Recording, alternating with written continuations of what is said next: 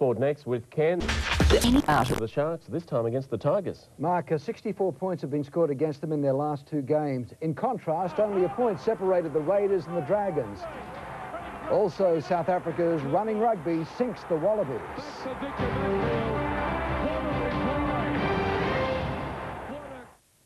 The Canberra Raiders stopped the rot today, ending a three-game losing streak, defeating the Dragons in a thriller at Jubilee Stadium.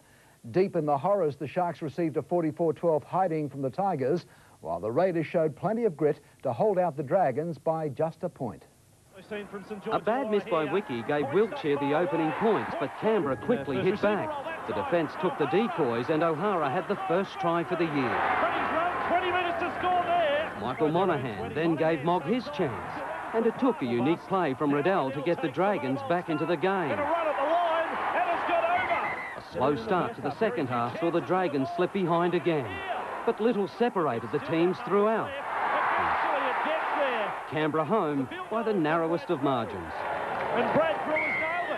Denied any form of points last week, the Sharks were desperate this week, but so were the Tigers. Skandalis drives him into the turf. Through O'Neill and Halatau, the Tigers cross first. And if not for a lucky bounce, they would have soon had the second. Gets an awkward bounce. The Tigers didn't miss their next chance. Poor defence allowed Galea to show his skills. Withers finished off the rest. Puts the kick in for Withers, who dives down. An unstoppable Lafranchi then pushed it out to 22-0. The Sharks thankful Cavell hit the post three times in the first 40. Well, what sort of record is that? It was another bleak day for the Sharks, and fans will again be demanding answers.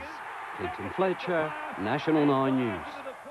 Penrith's remarkable premiership surge continues following a heart-stopping finish against Souths. The New Zealand Warriors overpowered Manly. Melbourne fought back against North Queensland, while the Panthers won 30 to 24. Souths had won in the last two visits to Penrith and opened the scoring within two minutes. Picked up by Andrew Hart. Preston Campbell initiated both of Luke Rooney's tries, while Joe Nalaveo used brute strength to get his hat-trick. The Panthers led 30 to 10 before a Rabbitoh revival featuring a Katavarada tearaway try and two from Luke McDougall sliced South's deficit to just six. Dive in to score his second. Rhys Wesser to the rescue in the dying seconds as McDougall narrowly missed out on a hat-trick that could have seen extra time. At Olympic Park, North Queensland made 45 tackles to none as Melbourne leapt to a 10-0 lead after seven minutes. He scored the try. By half-time, the Cowboys were in front 16-12, though Glenn Morrison's try pass to Aaron Morgan went forward. The corner and will score. Melbourne responded with two second-half tries. Ryan Hoffman finished off a move engineered by Matt Orford to level the scores. He links up on the outside with Hoffman, who's just... Before the organiser broke the deadlock after 64 minutes. The line, Orford scored. After a scoreless first half across the Tasman, 100-game Warriors veteran Ali Lauitiiti set up Brent Webb before Tavita Latu caught the Manly defence sipping a latte. He pinches four points. Manly fought back with two late tries but lost for the third straight game. Penrith head the table for the first time since 1991. Charles Christian, National 9 News. A serious bout of the flu has put Andrew Johns in doubt for Wednesday's third State of Origin. This afternoon, the Blues arrived in Brisbane without their captain. Bulldogs halfback Brent Sherwin on standby to replace Johns. It'll be very sad for Joey if he doesn't play on Wednesday night, but um, he'll be there with the team, and uh, we'll give him to the last moment, but um, let's hope. Lote Tuqiri is currently before a judiciary hearing in Cape Town, while Joe Roff has been sidelined by a rib injury after another winless trip to South Africa for the Wallabies. Despite scoring three tries to two, Australia was outmuscled by the Springboks 26-22. Newlands Stadium has been no happy hunting ground for the Wallabies. They last won in Cape Town back in 1992, but Matt Burke put the boot in early. The fullback's field goal giving Australia a 3-0 lead before Springbok replacement fullback Brent Russell finished five phases with plenty of pace. Hasn't he got some zip? The Wallabies hit back via their league recruits. Outside centre Matt Rogers going inside to find his winger. Beautiful ball, Sailor. There's the reply. From long range, Russell launched a Springbok counter-attack featuring twice in the try of the match. De Wet Barry. Beautiful play, Russell. To Blanche. Back for Victor Matfield. What a reply. De Wet Barry sin binning for a professional foul was pounced upon by a quick-thinking Phil Waugh, putting the Wallabies just three points behind. Two Louis Koen penalty goals kicked the home team ahead by nine. Both captains carried on like prized peacocks before Joe Roff took flight reducing the margin to four, but rib cartilage damage could sideline the winger for up to a month. Lote Tuqiri faces a judiciary hearing in Cape Town over this incident, the box defence holding firm to win by four. Andrew McKinlay, National 9 News. In AFL, Sydney remains on track for a finals berth following a clear-cut win over St Kilda.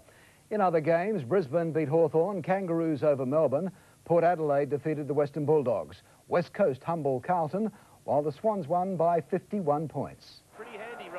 Sydney took 21 minutes to shoot straight, while St Kilda led at quarter time on the back of three goals from free kicks. And he delivers the goods. The Swans improved in the second quarter with goals from Nick Davis, Tadhg Kennelly and Nic Fosdike. But this Paul Kelly-like effort from Robert Harvey had the Saints marching to within four by half-time. Harvey swooped on it superbly, and the champion drills it. After kicking two goals to take the lead, St Kilda ran out of puff. Sydney surged when Paul Williams picked up the crumbs and Aaron Schneider snapped a long one to make it 74-54. Daryn Cresswell added two more goals in the final quarter as the Swans scored nine goals to three after the main break, turning a tight match into a landslide victory. He hasn't missed Italian Max Biaggi has claimed pole position for tonight's British MotoGP at Donington Park. Troy Bayliss is best, best placed Australian on the grid in sixth spot. A scary moment in final qualifying for Spaniard David de Gea, who was tossed clear of his bike. He'll be starting at the back of the grid. In the Tour de France, competitors have hit the Alps for the first time. The seventh stage, a testing 230 kilometre race from Lyon to Morzine. Local hero Richard Virenque increased his overall lead by taking out today's leg. Australia's Michael Rogers finished fourth. In the battle for the sprinter's green jersey, another Aussie, Baden Cook, is the new man to catch. And Melbourne has won the right to host the 2007 World Swimming Championships, beating Rio and the United Arab Emirates in the final I always vote. expect to lose, actually, so to, to win was very exciting. It's not sure if the good old Aussie Lamingtons and chocolate crackles help convince the FINA delegates. The titles come a year after Melbourne hosts the Commonwealth Games. And of course, Wide World of Sports will be there covering both events. Sounds good. Thanks, Ken. Coming up after the break, all the weather details.